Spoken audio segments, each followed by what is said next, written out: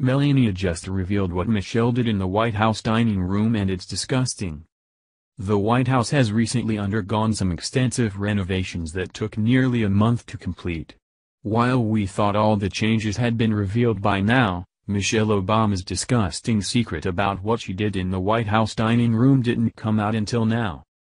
The changes to the White House were immediate once class moved back in with the Trumps after the election and replaced the Obamas. They've made some physical changes to the place as well to better suit their personal tastes. This didn't just uncover the foul cockroach problem Barack and his family allowed to fester for eight years, and revealed what Michelle left behind in the formal dining area as well. When Barack Obama first became president, he and Michelle were given the same design honor that Donald and Melania got upon taking up residence in the West Wing.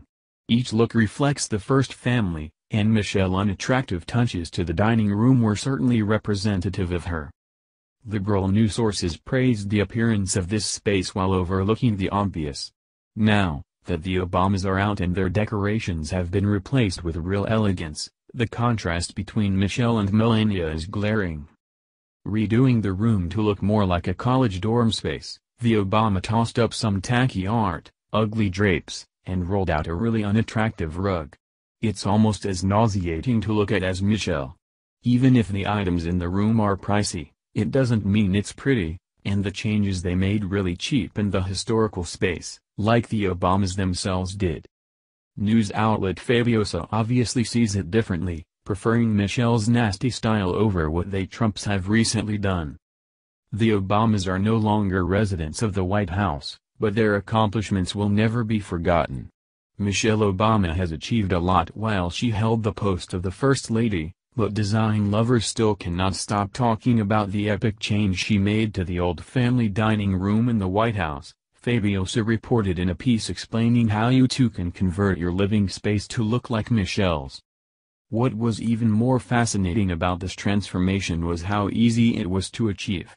You'll assume that completely making over a room will involve tossing out furniture and taking drastic measures, but Obama proved that this does not always have to be the case. Once upon a time, the old family dining room had an outdated traditional look and feel to it.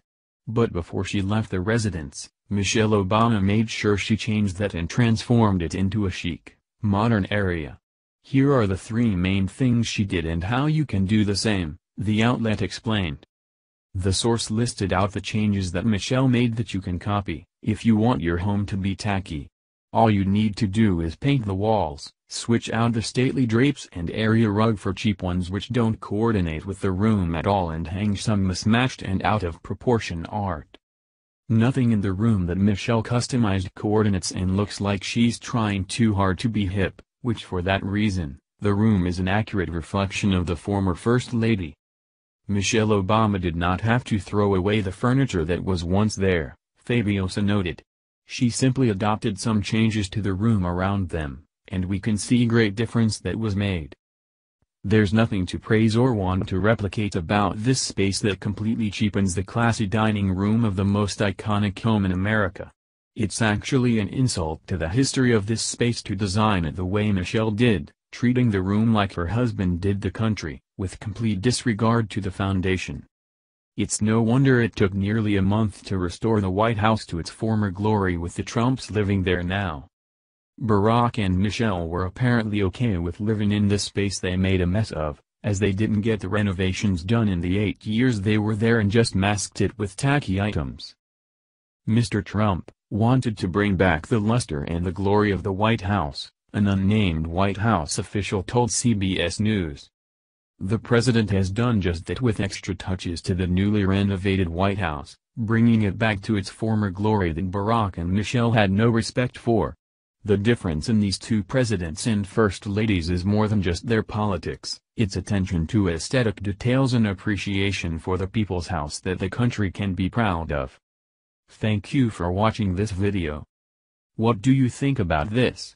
Share this on Facebook and Twitter along with your comments. Comments.